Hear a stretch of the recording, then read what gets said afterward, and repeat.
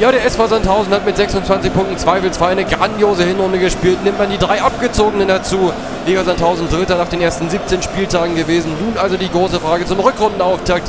Gelingt der Mannschaft vom Hartwald Gleiches in den nächsten 17 Spielen? Dann könnte 100 Jahre nach Vereinsgründung 1916 etwas ganz Großes anstehen. Der Bundesliga-Aufstieg 2016. Davon allerdings redet in Sandhausen so gut wie keiner. Erstmal die nötigen Punkte holen, damit kein Abstiegskampf mehr aufkommt bei den Sandhäusern. Braunschweig in Gelb mit 2-9 nach dem 0 1 gegen die Fortuna aus Düsseldorf. Das ist Wilsom. Weiter für Jan Hochscheid, die beiden neuen Knaller. Erste Probe für Sandhausens Torwart. Hochscheid setzt nach Ken Reichel, Matuschik und wieder Hochscheid gegen Klingmann.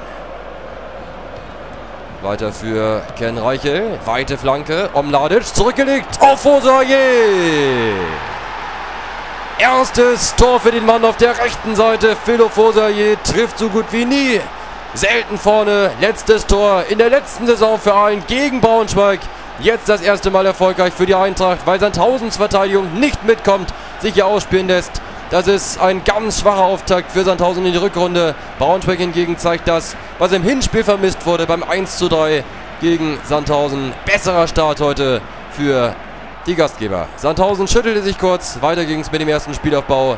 Der Gastgeber heute mit der Aufstellung, die gegen Karlsruhe gewann. Kudowitz und Linzmeier zusammen wieder auf der Doppel-6. Wuten Flanke kurz.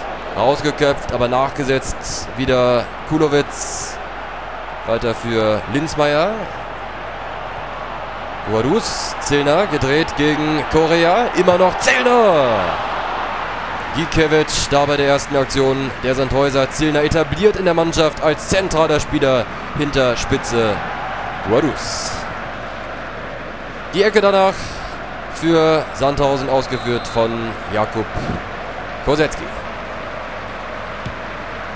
Dicht vors Tor. Reichel ausgeschlagen, aber nicht gut verteidigt. Nächster Spielaufbau. Packerada für Linsmeier. Zillner. Links raus. Buadus. Abgeblockt. Und Zillner schlägt das Luftloch im Strafraum. Riesengelegenheit verpasst. Kulowitz in der Mitte, der sich kurz krümmte. Konnte dann allerdings weiterspielen für Sandhausen. Gute Anfangsphase danach erstmal wenig zu sehen. Halbe Stunde bereits gespielt. Braunschweig mit Kedifi. Der sich durcharbeitet auf der linken Seite gegen Klingmann und die Flanke Hochscheid. Nächste Riesenchance Jan Hochscheid. Der Wechsel hat sich gerechtfertigt. Lieberknecht hat den richtigen Mann gebracht, der neues Tempo bringt in die Offensive der Braunschweiger. Kosetski, jetzt wieder das Spiel lebendiger. Gerade mal zwei Minuten später Sandhausen mit Paccarada. Zillner, schnell weiter. Buadus! Ausgleich. Aziz Buadus trifft auch in der Rückrunde für Sandhausen. Schnell gespielt, gut gespielt. Paccarada, dann Zillner weiter für Buadus. Keine Gegenwehr. Die Dreierverteidigung der Braunschweiger zu weit weg. Gikiewicz chancenlos bei diesem guten Schuss von Buadus, der den Ball perfekt verwandelt. Sandhausen ist wieder da, zeigt die Qualität der Hinrunde, macht die Tore. So wird es ein leichtes sein, die Punkte zu sammeln, damit kein Abstiegssorgen mehr aufkommen. Für mehr allerdings braucht die Mannschaft auch spielerisch eine klare Verbesserung. Trotzdem, jetzt ist Leben drin im Hartwaldstadion. Gerade mal vier Minuten später wieder Wuten. Kosetski. Weiter für Linsmeier, Gikiewicz. Der Ball etwas zu weit für Sandhausens Linsmeier. Und schon wieder Klingmann über die rechte Seite. Angetrieben jetzt von den Fans. Wuten, kein Abseits, ganz frei. Zillner zurückgelegt und Boadus umgeschubst. Elfmeter. Auch wenn Boadus in ganz gefährlicher Position zu Boden geht. Für mich eine Fehlentscheidung. Es ist kein Elfmeter aus meiner Sicht. Denn der Kontakt ist da, aber das ist keine Grätsche von Omladic. Wir schauen auf die Wiederholung und versuchen zu erahnen, was genau gepfiffen wird. Das für mich ist lediglich ein Kontakt, kein Foul an Sandhausen Stürmer. Es gibt in jedem Fall die Gelegenheit für Sandhausen Andrew Wooten im Duell mit Braunschweigs Torwart Gikiewicz. Vier Minuten noch zu spielen im ersten Durchgang.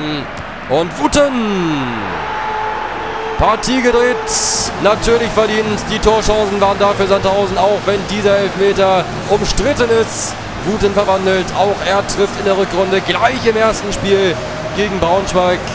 Hat überzeugt mit einigen Treffern im Verlauf der Hinrunde. Jetzt klasse verwandelt gegen Gikiewicz. Chancenlos. Braunschweigs Torwart bei diesem Elber von Wuten. Stramm geschossen. Nicht gut platziert.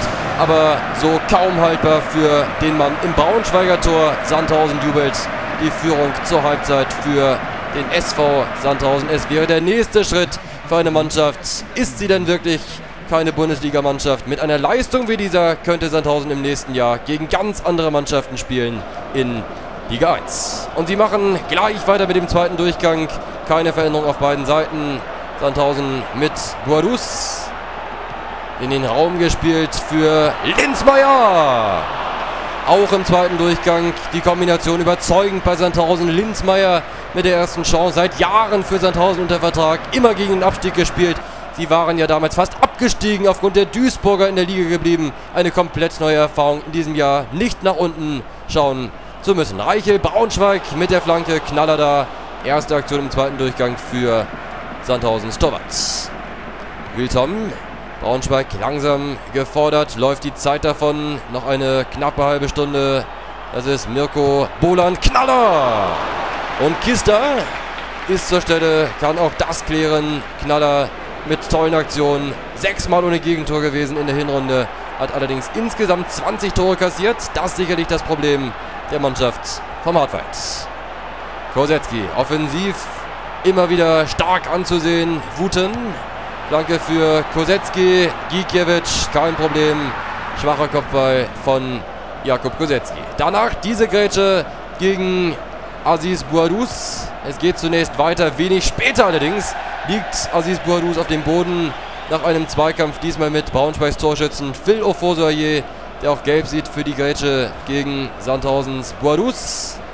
Diesmal mit Tempo reingegrätscht. Gelb für mich die richtige Entscheidung gegen den Braunschweiger. Jetzt zu erkennen, klare Grätsche gegen Guadus. Für Sandhausen Stürmer ging es nicht weiter, musste ausgewechselt werden. Jovanovic kam für die Schlussphase, allerdings nächste Woche vermutlich wieder dabei für Sandhausen. Aziz Guadus. Einwurf der Sandhäuser. Wuten. Weiter für Linzmeier und Kulowitz. Jetzt im Zusammenspiel Linzmeier-Kulowitz. Erste Kombination an diesem Abend. Das 3 zu 1. Sandhausen schlägt auch im Rückspiel die Braunschweiger Eintracht. Klasse Zuspiel. Lang gewartet. Der Winkelspitz aber kein Problem für Kulowitz. Sandhausens Kapitän macht die Entscheidung gegen viel zu passive Braunschweiger. Bodanta kann allerdings nicht verhindern, dass Kulowitz das nächste Tor erzielt. Die Mannschaft macht Spaß, schießt Tore, alles ist da für eine gelungene Rückrunde bei Sandhausen. Ofosoyer, Boland in der Schlussphase, Braunschweig nochmal mit Berggren und Jan Hochscheid. Der Einzige, der heute seine Leistung zeigen kann, von dem Torgefahr ausgeht. Gut erwischt, allerdings vorbei am Tor von Marco Knaller.